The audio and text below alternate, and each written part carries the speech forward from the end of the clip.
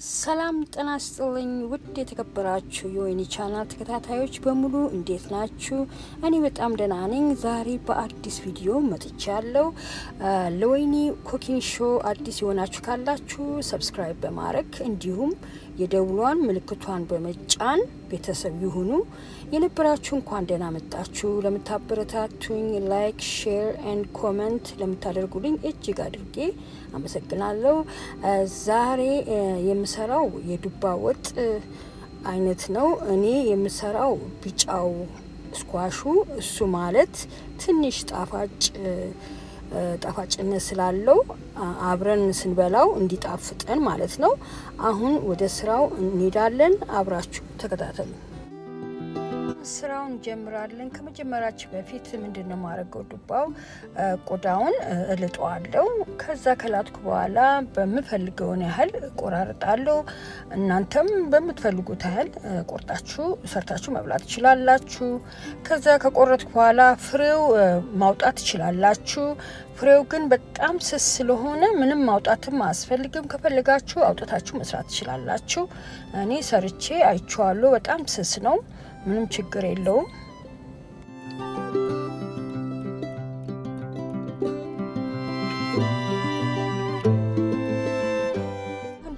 ሞቅ ብሎልኛል። አሁን የወይራ ዘይቴን እጨምርበታለሁ። ይህንን የምታዩት ቪዲዮ ሰርቻለሁ። ውስጡ ምን እንዳስገባው ከታች ማየት የምትፈልጉ ካላችሁ ከታች link ኡን አስቀምጥላችኋለሁ።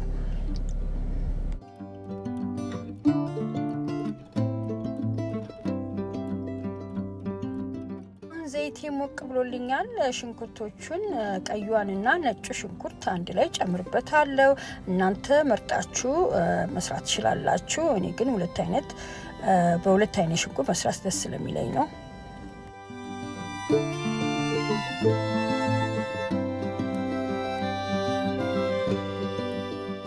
ሽንኩርታችን በስሎልናል።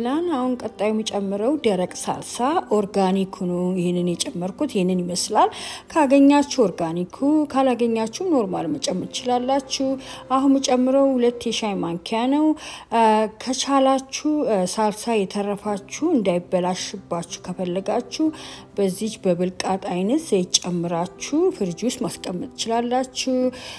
ከነ ቆርቆሮ ካስቀመጣችሁ ለጤናም ጥሩ አይደለም፣ ይጠቁርባችኋል። ስለዚህ በቃ አድርጋችሁ አስቀምጡት። ሳልሳዬ በምፈልገውን ያህል በስሎልኛል። አሁን ምንድን ነው የሚጨምረው? ሁለት የሻይ ማንኪያ በርበሬ ጨምርበታለሁ። እንደ የፍላጎታችሁ ነው። አንድ ማድረግ ትችላላችሁ፣ ከዛም በላይ ማድረግ ትችላላችሁ። ከዛ አብሬው እንዲቁላላ አድርገዋለሁ።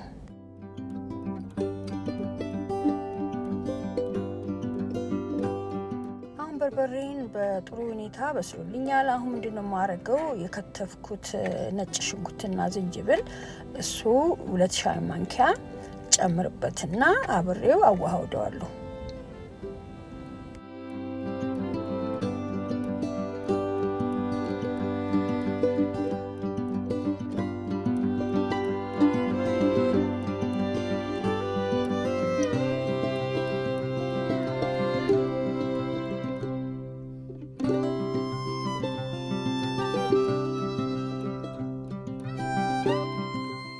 በመሀል እንደዚህ እየከፈትን እናማስለዋለን። አሁን ትንሽ እንዳይዝብን ሞቅ ያለ ውሃ እንጨምርበታለን።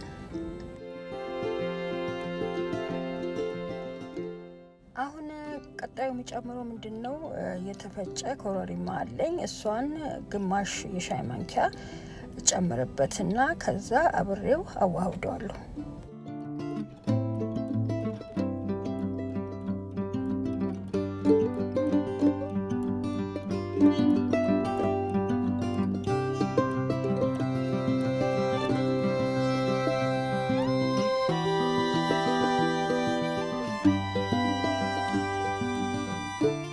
ተቁላልቶልኛል። አሁን ዱባዬ ከመጨመሪያ በፊት የፈላ ውሃ አለኝ።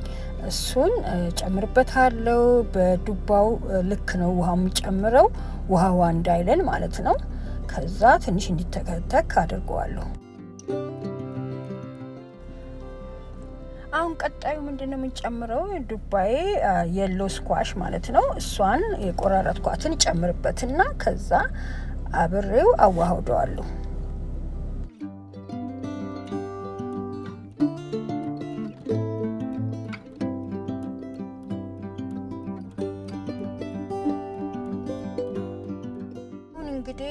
ቀስ ብለን እናማስለዋለን እንትን እንዳይል ማለት ፍርክስ እንዳይልብን። ከዛ በመቀጠል ትንሽ ውሃ እንጨምርበታል። የፈላ ውሃ በጣም እንዳታበዙት፣ ምክንያቱም እሱ ከስጎ እኩል መሆን አለበት። አለዛ ባበዛችሁ ቁጥር ውሃ ውሃ ይላል ማለት ነው።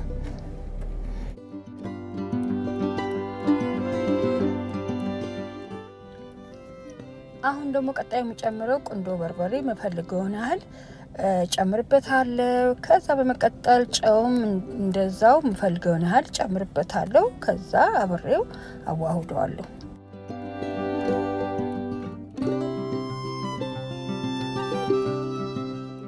ተሰርቶ አልቋል። ይሄንን ይመስላል። ከወደዳችሁት like፣ share ማድረጋችሁ እንዳትረሱ። በየቤታችሁ ናችሁ እንደዚህ በአማረ ዱባ ወጥ ሰርታችሁ መብላት ትችላላችሁ። በጣም ቀላል ነው።